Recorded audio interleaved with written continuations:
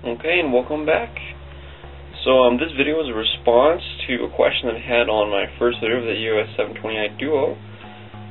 The question was, how does the cycle system work, or something to that effect. So we're going to go and give you guys an idea of how that works. It's a very nice tool. I like it a lot because it gets rid of all my conditioners, my uh, battery cyclers, and all the other. But here what we're going to do is we're going to go and set up for this JR 5-cell 2700 milliamp pack. Um, the reason I use a nickel metal is because really for LiPos there's you don't cycle them all that much and there's no real read to, reason to. Don't develop memory or anything. So um, to get this going, what I'm going to do is go up to model memory here. Um, I use 20 as just kind of a random setup. So then uh, off to here, what we're going to do is we're going to go into it because you can see it's not set up correctly there. It says lithium 2 cell and whatnot. So we're going to go in, okay, we're going to go down. You want to go to battery type nickel metal, that's correct. We're going to change it to a 5 cell 6-volt pack, that's correct.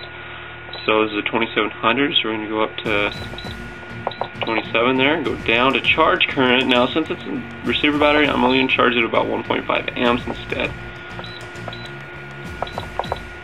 Okay, so what you got to do for your cycle first is kind of like I'm doing here, is um, you just got to set up everything that's in it, how your battery's going to work, how you want it to charge more or less, just kind of like you're normally going. But then you need to cycle down further to discharge amps. Now this one, since it's a receiver pack or any other pack, you can discharge can only do up to uh, 500 milliamps on discharge through the balance leads or through the main leads. So I'm going to put this one about 400. That's a standard load for any larger helicopter or airplane. Okay, and then five. Okay, see, it's already figured out. So discharge volts for per cell. So we want 0.5 volts. Nickel metals, you don't want to go too much below 5 volts.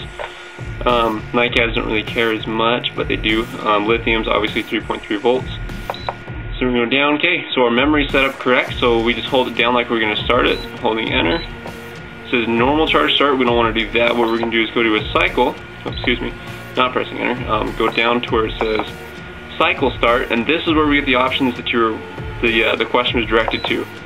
What can we make it do? So here, this is first charge, then discharge. You can change that by pressing, whoops, excuse me, charge, then discharge, and you can do that by pressing up or down. And you can change which one you want it to do. So this is now going to be discharge, then charge. So if your pack is full, you want to do it this way. If it is, oops, if it's empty, you want to do it this way. Mine's dead, so we're going to do this way. Now the T stands for how many times you want it to cycle by itself. Right here, so 10 times, let's do it um, four times per se, whatever your setup is going to require. Then here, this is the break between each one of your cycles. So I'm going to move this up, say 20 minutes. Going to give the pack a second to, to break there, and then press enter. Hold it down again, and there you go. Your cycle starting. So what it's going to do is you can see here, it's going to cap at 1.5 amps. See my battery voltage, and at the top it tells me it's now currently charging, as you can see for there for the C tells me which one it's on. It's on 1, so this is the first start. And then next is going to be discharge. So then the D will start to blink once it goes to the discharge mode and you'll be ready to go. If you go left, you can start seeing all of your statistics about the battery here. Uh, excuse me, left, you can see the statistics. And then down, if you go on your standard, you can tell how much it's put into the pack because it's charging there. And you can see your time. Down, you can see my power supply is putting out 13 volts. Temperature, applicable. Peak voltage, it'll tell you how much your current peak voltage is. Your resistance hasn't gone long enough to test.